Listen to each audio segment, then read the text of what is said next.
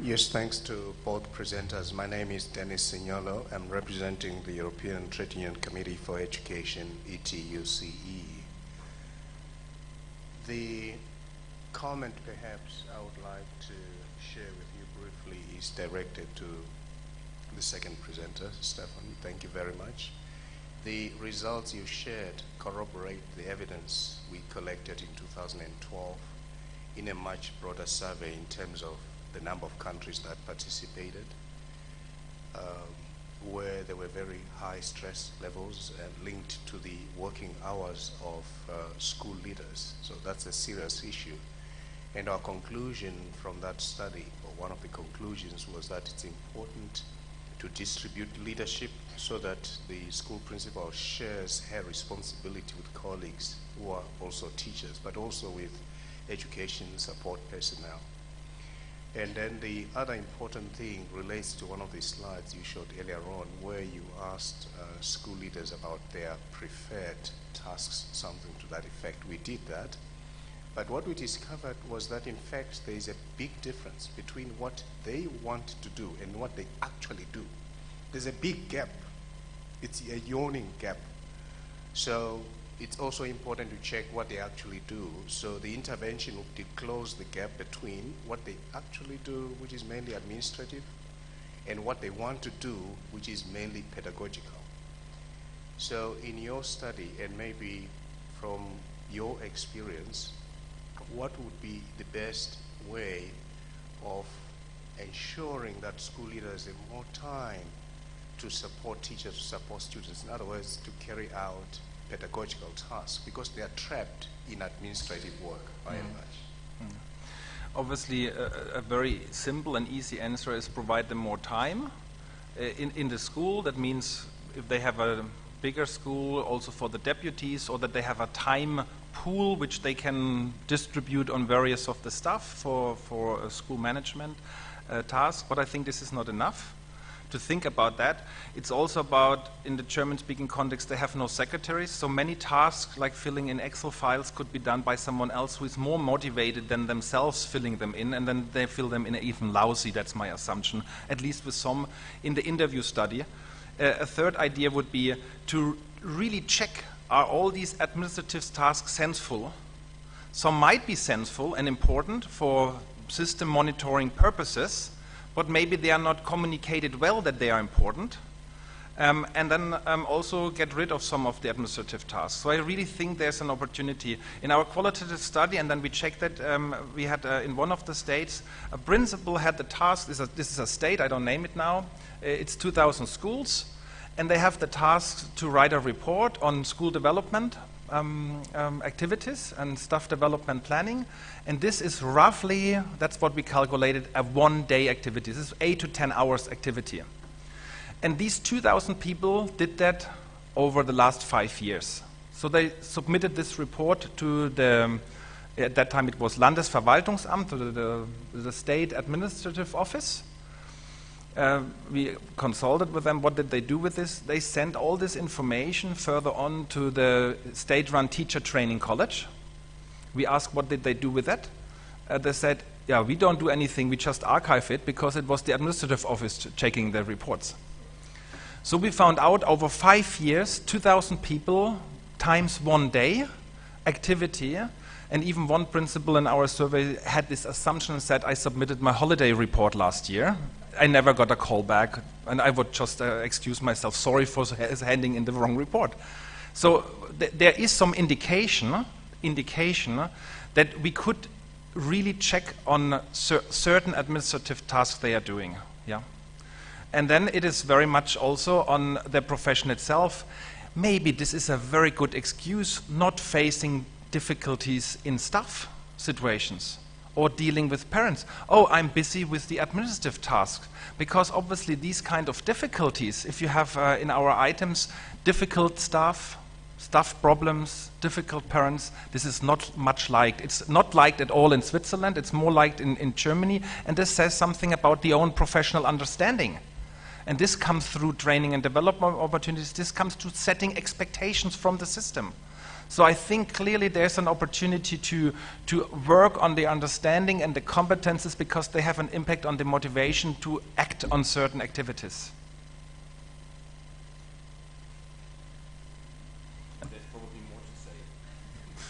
Thank you. More questions, comments?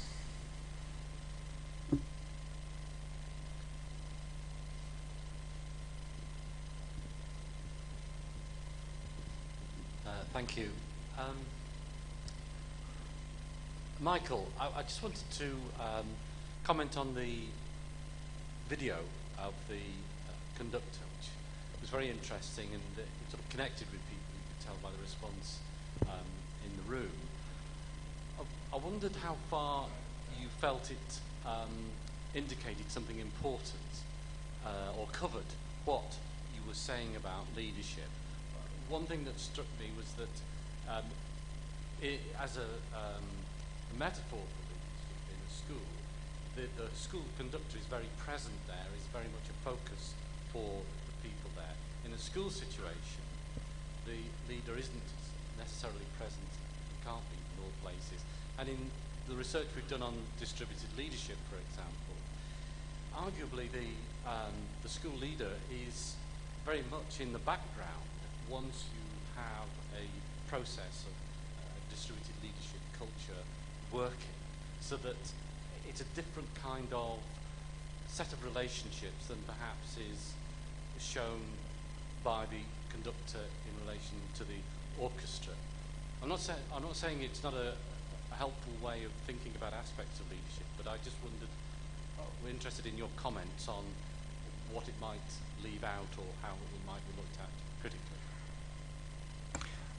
Thanks, Philip. Um, very valid question because metaphors are always tricky because they open up uh, the perspective for anybody and you can reinterpret them in your way. And the way we use them is to get the metaphoric use uh, in a way that you say, for example, uh, he says, he didn't say it in this uh, interview, but he said, I don't need this stick which usually a conductor has. Yeah?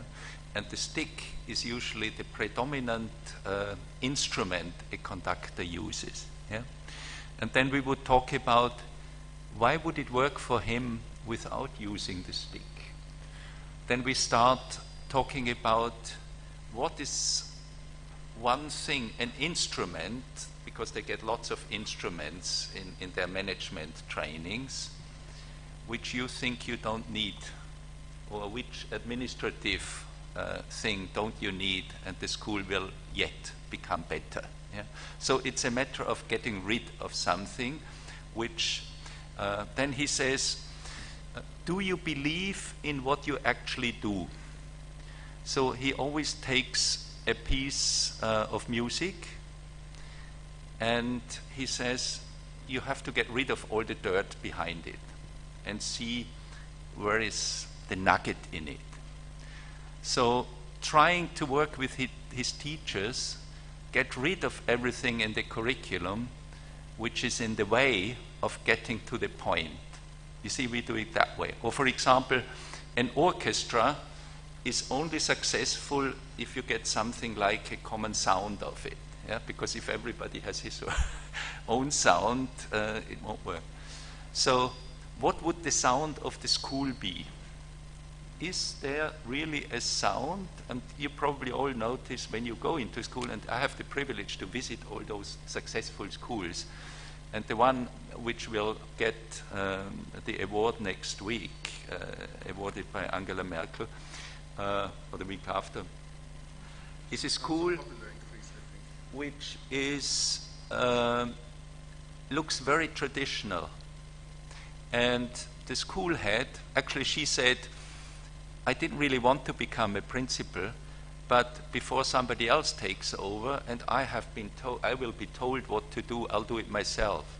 And she's always in the background. But this school has a sound which, sh- uh, which shows that every teacher is in tune what has been arranged. And it's for me what, what is the most impressive thing um, in relationship because uh, leadership can always be uh, developed in relationship is the two aspects responsiveness and demandedness or demandingness yeah? Always demand more. You notice how he tried no i'm not happy with that. We can get more. These kids get more than you really think uh, they will get yeah?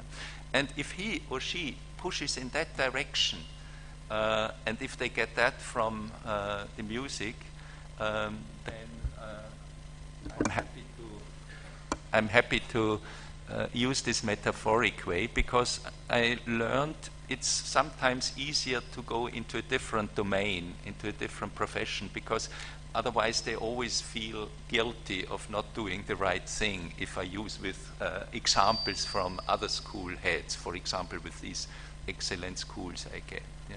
But still, coming back, uh, you, you could probably use the metaphor of a jazz ensemble. You know, it, it would be a very different way. How do you uh, share leadership if you don't know what the other does?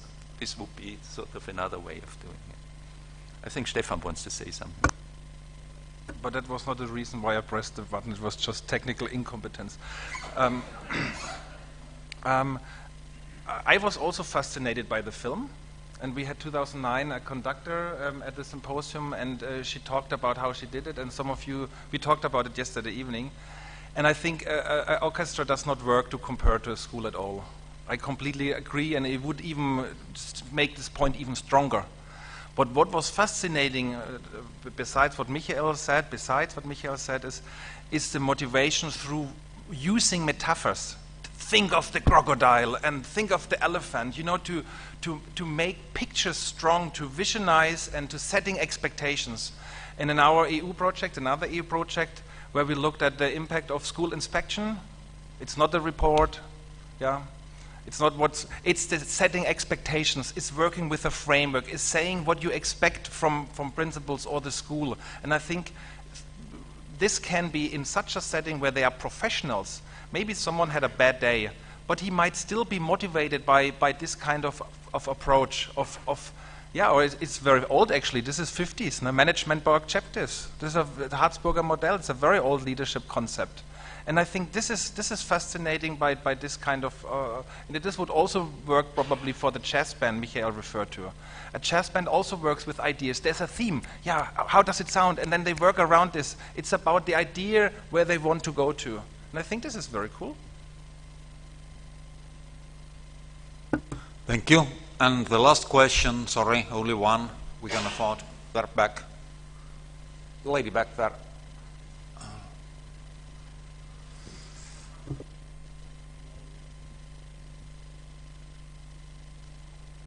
Further on, lady. Further on.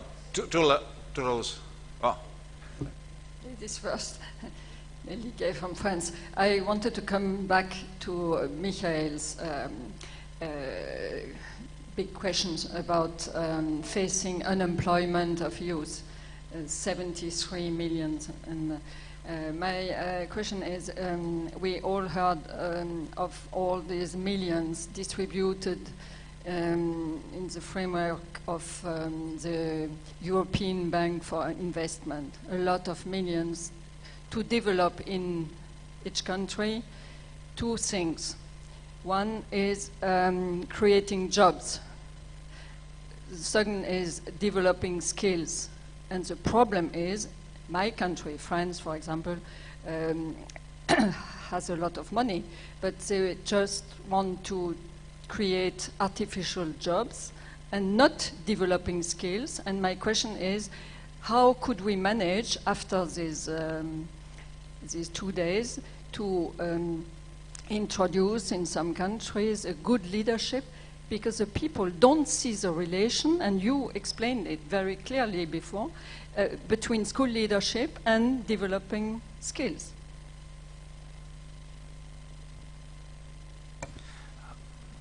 Thank you for this really crucial uh, topic because it has such an impact on our work and life at all, as we saw. Um, I don't have the solution, and you said we have two days to find one, or at least uh, emerge into that future. But I'll just give you an example in Austria. I think it's a kind of um, unconscious, uh, unconscious incompetence.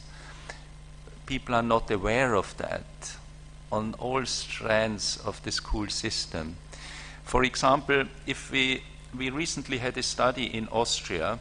Uh, how, out of the population of school leavers, how many would be ready to be uh, to open up uh, a business on their own and uh, be independent? Out of ten, only one was willing to take up that independence.